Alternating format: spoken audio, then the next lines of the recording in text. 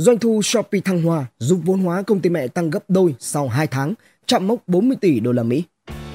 Doanh thu Shopee tăng tới 111%, giúp vốn hóa công ty mẹ She chạm mốc 40 tỷ đô la Mỹ. Giá trị thị trường của gã khổng lồ Internet khu vực Đông Nam Á She đã tăng gấp đôi trong 2 tháng qua, đạt mốc trên 40 tỷ đô la Mỹ vào thời điểm đầu tháng 6 2020.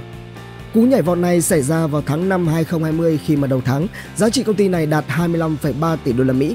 Cổ phiếu của She đã tăng 12,2% vào ngày 18 tháng 5 2020, là thời điểm mà họ báo cáo kết quả kinh doanh quý đầu tiên của năm 2020, đóng cửa phiên ở mức 69,49 đô la Mỹ trên một cổ phiếu. Kết thúc phiên giao dịch ngày 10 tháng 6 2020, giá cổ phiếu của công ty này đạt 90,88 đô la Mỹ trên một cổ phiếu. Có trụ sở ở Singapore, Xi điều hành nền tảng giải trí kỹ thuật số Garena và trang thương mại điện tử Shopee. Họ cũng có mảng kinh doanh thanh toán kỹ thuật số là Shimani. Trong quý 1 2020, Xi đã báo cáo tổng doanh thu hoạt động đạt tới 914 triệu đô la Mỹ, tăng 57,9% so với mức 579 triệu đô la Mỹ kỷ lục ghi nhận trong cùng kỳ 2019. Tốc độ tăng trưởng vượt bậc này có được là nhờ vào đóng góp to lớn của từng mảng kinh doanh. Garena, đơn vị đã chứng kiến doanh thu tăng tới 30,3% so với 2019 lên mức 512 triệu đô la Mỹ. Trong khi đó, Shopee thu về 314 triệu đô la Mỹ doanh thu, tăng 111% so với mức 149 triệu đô la Mỹ vào 2019. Vốn hóa của She tăng mạnh cho thấy các nhà đầu tư đều đang tỏ ra rất phấn khích bởi hoạt động kinh doanh của She tương đối an toàn khi chịu tác động của đại dịch toàn cầu. COVID-19 là đòn bẩy thúc đẩy tự nhiên quá trình dịch chuyển sang phong cách sống trực tuyến một cách sâu rộng hơn mà theo quan điểm của chúng tôi đó là điều không thể đảo ngược. Dẫn lời của CEO She, Forrest Lee nói trong buổi báo cáo kết quả kinh doanh quý 1 2020.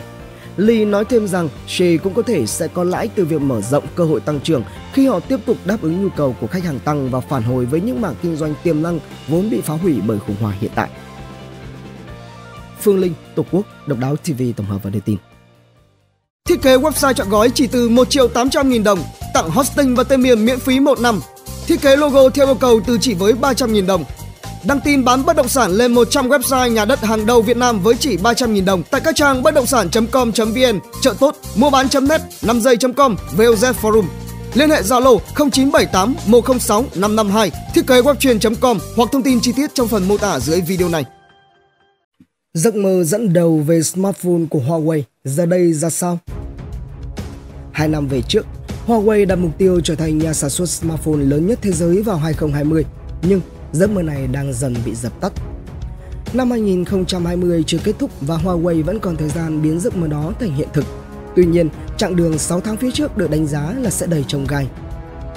Tháng 11 năm 2018, Richard Yu, CEO ngành hàng kinh doanh tiêu dùng của Huawei, tuyên bố sẽ đánh bại